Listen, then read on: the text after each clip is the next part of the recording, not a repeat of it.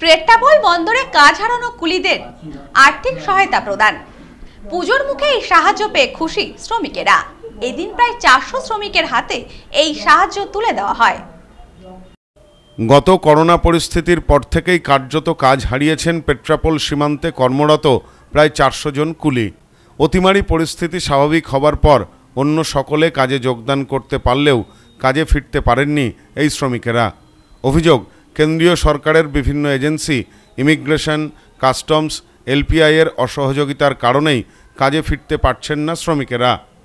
এক কথায়, মূল গেটের ভেতর তাদের প্রবেশ করতে দেওয়া হচ্ছে না, বাধা দেওয়া হচ্ছে। এ নিয়ে দীর্ঘদিন ধরেই আন্দোলন করছেন শ্রমিকেরা। এখনও মেলেনি সুরাহা। সামনেই শারদ উৎসব।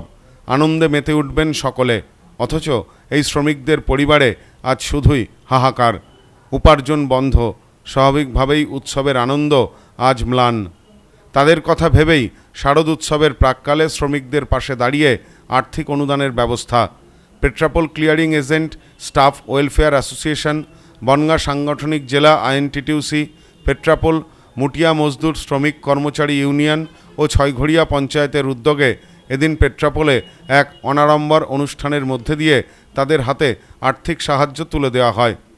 এদিনের অনুষ্ঠানে হাজির ছিলেন ছয়ঘড়িয়া পঞ্চায়েতের প্রধান প্রসেনজিৎ ঘোষ, বনগাঁ সাংগঠনিক জেলার তৃণমূল শ্রমিক সংগঠনের জেলা সভাপতি Narayan Ghosh, Petrapole agent staff welfare অ্যাসোসিয়েশনের সম্পাদক কার্তিক চক্রবর্তী সহ বিশিষ্টজনেরা। এ বিষয়ে নারায়ণ ঘোষ বলেন, শ্রমিকদের সাথে বিমাতৃ সুলভ আচরণ করা হচ্ছে। বিষয়টি ইতিমধ্যেই রাজ্য শ্রমিক সংগঠনের সভাপতি ঋতব্রত বন্দ্যোপাধ্যায়কে জানানো হয়েছে। পুজোর পরে শ্রমিকদের কাজ ফেরতের দাবিতে বৃহত্তর আন্দোলনে নামা হবে। আজকে এই করোনা মহামারীর থেকে এই তিনটে বছর তারা না খেয়ে রয়েছে, কর্মহীন। মানে আমরা এদিনকে প্রতিনিধিবাবুর নেতৃত্বে আমরা সবাই মিলে গেছিলাম। এলপিআই ম্যানেজারের কাছে, এ ওরে ঠেলছে, ও ওরে ঠেলছে।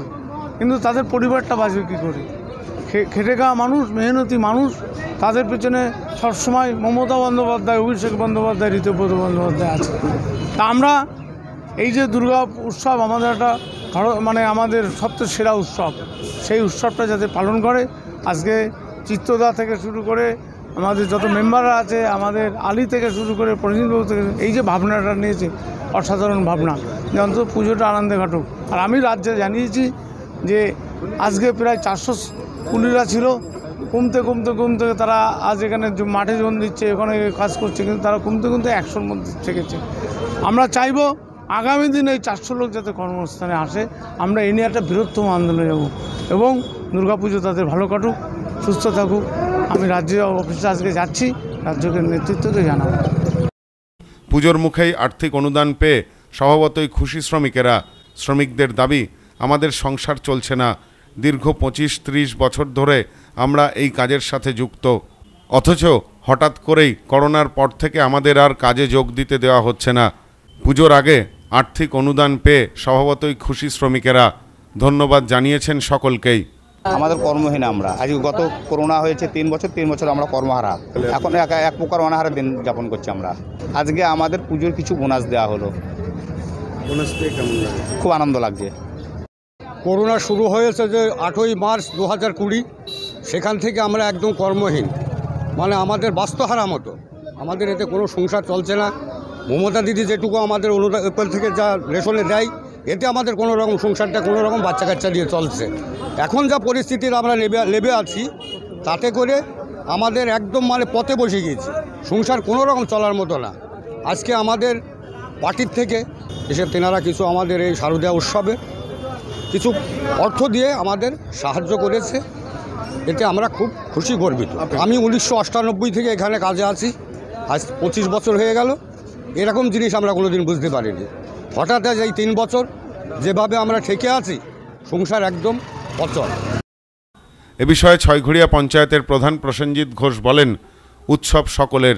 আমরা চাই সকলেই উৎসবের আনন্দে মেতে উঠুন। সেই কারণেই সকলের সহযোগিতা নিয়ে ছয়ঘড়িয়া পঞ্চায়েতের পক্ষ থেকে আমরা সকল শ্রমিকদের হাতে আর্থিক সাহায্য তুলে দিতে পেরে আনন্দিত।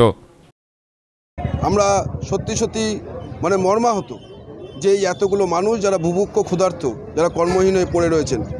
আমরা পঞ্চায়েতগতভাবে বিভিন্ন মানুষের কাছে আমরা আবেদন রেখেছিলাম বিশেষ করে পেট্রাপোল যে ক্লিয়ারিং এজেন্ট স্টাফ অ্যাসোসিয়েশন তাদের কাছে আমার বনগাঁ সাংগঠনিক জেলা আইনটিটিউসির সভাপতির কাছে এবং পেট্রাপোল মুটিয়া মজদুর শ্রমিক কর্মচারী ইউনিয়নের কাছে আবেদন রেখেছিলাম যে আর্থিকভাবে তারা একটু সহযোগিতা করুক এবং সকলের সম্মিলিত সহযোগিতার মধ্যে দিয়ে এই সমস্ত যে কর্মহীন, বুভুক্ষ, ক্ষুধার্ত যে শ্রমিকগুলো রয়েছে, উৎসবের দিনে তাদের একটু হাসির ফুটুক। কারণ শারদ উৎসব শুধু হিন্দুদের নয়, এটা একটা সর্বধর্মের উৎসব। আর আমরা এইখানে বলি যে ধর্ম হোক, যার যার, উৎসব হোক, সবার। সেই আঙ্গিকে দাঁড়িয়ে আমরা চেষ্টা করেছি এবং সকলে সম্মিলিতভাবে সহযোগিতা করেছেন।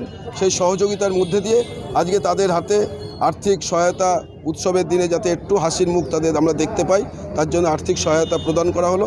আমি এর জন্য সত্যি সত্যি অত্যন্ত আনন্দিত এবং আমি চাই যে হাসিটা যেন তাদের সারা জীবন থাকে, তাদের কাজ ফিরিয়ে দেওয়ার জন্য যে লড়াই আন্দোলন করার দরকার, এখানে আমাদের সাংগঠনিক শক্তি হিসেবে আইনটিটিউসি তাদের পাশে আছেন, তাদের রাজ্য সভাপতি আছেন, তিনিও কথা দিয়েছেন। আর আমাদের, যেহেতু এটা আমার পঞ্চায়েতের মধ্যে, আমাদের পঞ্চায়েতের মধ্যে, পঞ্চায়েতগতভাবে পঞ্চায়েতের সমস্ত সদস্য, সদস্যা, পঞ্চায়েতের সমস্ত মানুষ তাদের পাশে থাকবেন, আছেন, যেই কাজকে তাদের ফিরিয়ে দিতে হবে। সব্যসাচী ভট্টাচার্যের রিপোর্ট নিউজ নোম্যান্সল্যান্ড পেট্রাপোল বাঙালির প্রাণীর উৎসব দুর্গাপুজো। নতুন নতুন কালেকশন নিয়ে আদি মোহিনী মোহন কাঞ্জিলাল এবার তোমার শহর বনগা। শিমুলতলার মোড় যশোর রোড। সবাইকে জানাই সাদর আমন্ত্রণ।